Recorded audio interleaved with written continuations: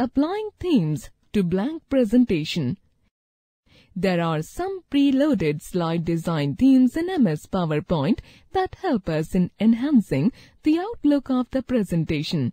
They quickly design the presentation by giving it a background and other effects. The steps to apply a theme to the presentation are Click on the Design tab. In the Themes group, click on the drop-down arrow to open a list of themes. Click on the required theme to apply it to the slide or slides.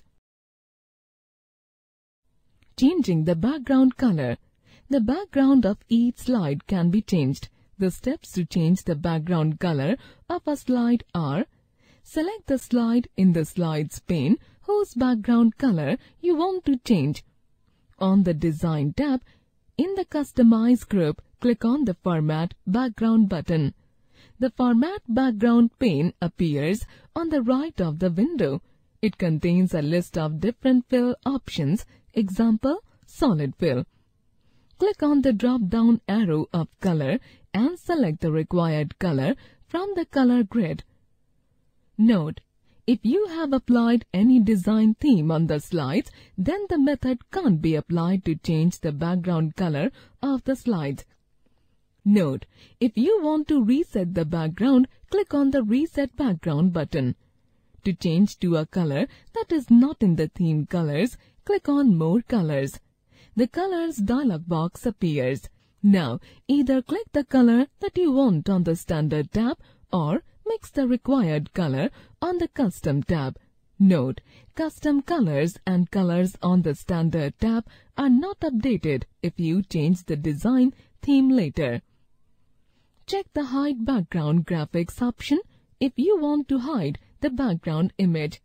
Move the transparency slider to change the background transparency. By default, it is 0% full opaque. If you set it to 100%, then it will be transparent. Click on the Apply to All button if you want to apply the color to all the slides in the presentation or close the Format Background pane to apply the color to the selected slide only. The steps to apply the gradient fill effect to the background of the slides are Select the slide and click on the Design tab Format Background button. The Format Background pane appears. Select the Gradient Fill option in the Fill section. Now, see the figure given below for further steps. Click on drop-down arrow of Preset Gradient and select an option. Click on drop-down arrow of Type and select the type of Shades. Click on drop-down arrow of Direction and select any one direction of the color shade. There are tabs on the Gradient Stops slider. Click and drag these tabs to set the darkness of color shades.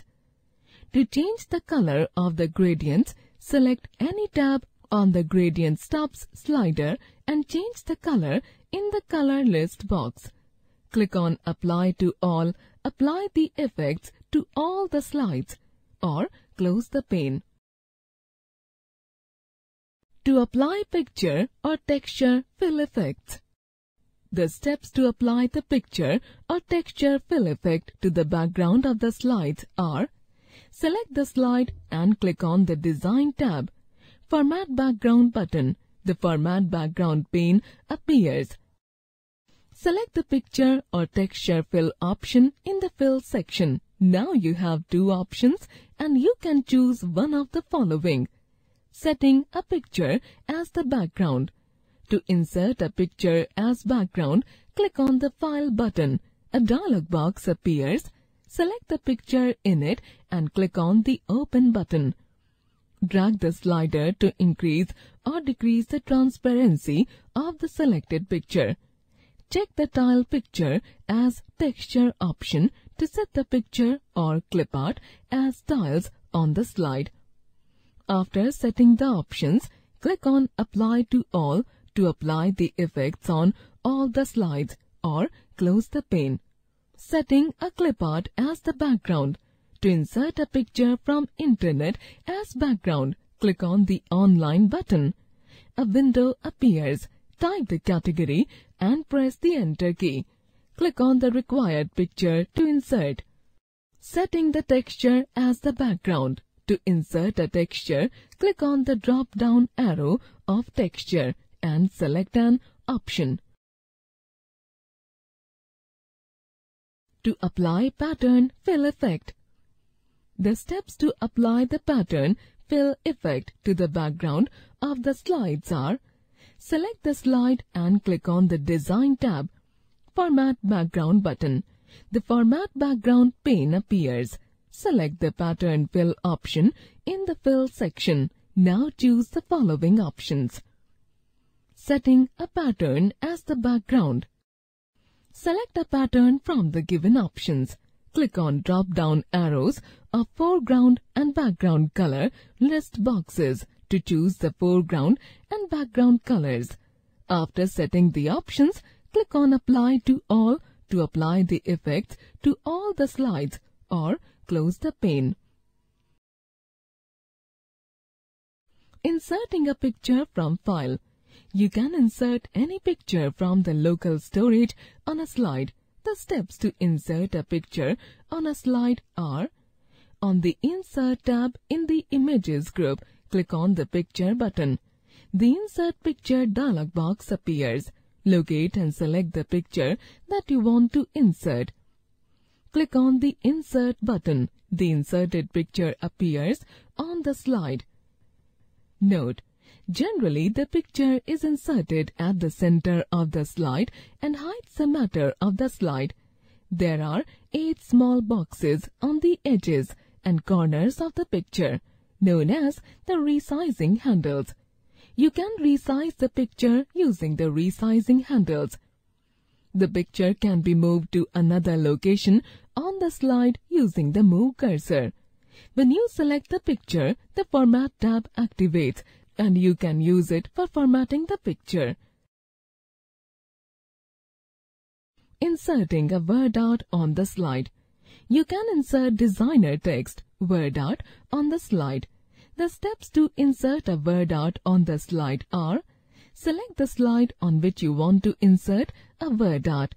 On the Insert tab in the text group, click on the drop-down arrow of the word art button. A list of word art styles appears. Click on any one of the given styles. A text box appears on the slide with your text here, written inside it. Type your text and click outside the text box.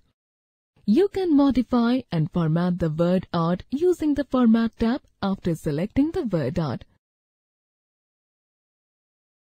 Applying text formatting. You can format the text on the slide using different text formatting options available in MS PowerPoint. The options are available on the Home tab in different groups. Let us see these options. In the image given below, some options for text formatting are highlighted. To apply any type of formatting, first select the text that you want to format and click on desired option. Click on this option to change the font. Click on this option to change the font size. Click on this option to increase the font size. Click on this option to decrease the font size. Click on this option to change the font color. Click on this option to change the sentence case. Click on this option to add a shadow behind the text. Click on this option to make the text underlined. Click on this option to make the text italic. Click on this option to make the text bold. Left alignment means that the text is lined up along the left margin. Right alignment lines up the text along the right margin. Centered alignment means that the text is aligned around a midpoint. Justified alignment means that the text lines up along both margins.